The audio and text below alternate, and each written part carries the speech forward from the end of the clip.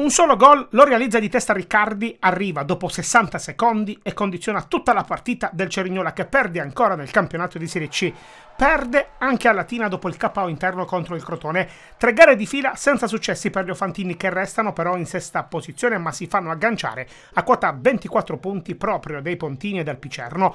Crea tanto la squadra di Michele Pazienza ma non trova mai l'acuto dell'aggancio. Il tecnico degli Ofantini torna al 3-5-2 con i rientri in difesa di Blondetta e Capomaggio entrambi titolari in avanti. Cenneglia al fianco di Malcore. Inizia col botto la partita dei padroni di casa. Carrissoni crossa dal settore sinistro. Riccardo, indisturbato, colpisce di testa ed insacca alle spalle di Saracco. 1-0 Latina che torna a segnare dopo ben 5 turni di astinenza. Fa fatica ad assorbire il colpo Cerignola. Su schema d'angolo i laziali sfiorano il raddoppio ancora di testa con Fabrizi. Provano ad entrare in partita i pugliesi, lo fanno su corner. Cardinali è bravo a sbarrare la strada a Coccia. Altro giro, altro angolo, questa volta dalla parte opposta, colpo di testa di Capomaggio maggio ancora riattivo il portiere del Latina. Spingono i giallo-blu, Neglia inventa, Tascone anticipa Malcore meglio appostato, ma il tentativo acrobatico risulta impreciso.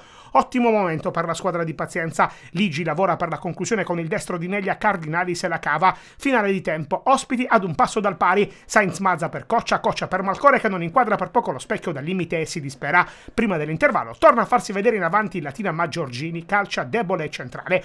1-0 a metà gara. La ripresa si apre con i padroni di casa all'attacco, la ripartenza è interessante, ma Carletti spreca tutto da distanza ravvicinata. Torna poi ad attaccare il Cerignola, murato il tentativo di Neglia, poi Capomaggio chiama la risposta d'autore Cardinali, meriterebbe il pari la squadra di pazienza, ma Malcore calcia tra le braccia del portiere avversario. Giallo per Giorgini, entra taccia ai danni dello stesso Malcore, che poi offre un pallone davvero invitante per l'Angella, mira imprecisa per pochi centimetri, può riscattarsi immediatamente il 33 del Cerignola ma si perde sul più bello tutto solo sul secondo palo su sponda. Interessante ed è entrato d'Andrea. Gli ospiti attaccano, i padroni di casa difendono. Russo propone un pallone interessante verso il centro ma D'Andrea clamorosamente non trova l'impatto con la sfera. Resiste il vantaggio della Tina anche quando Capomaggio ci prova dalla distanza e Malcore gira debolmente di testa prima del novantesimo.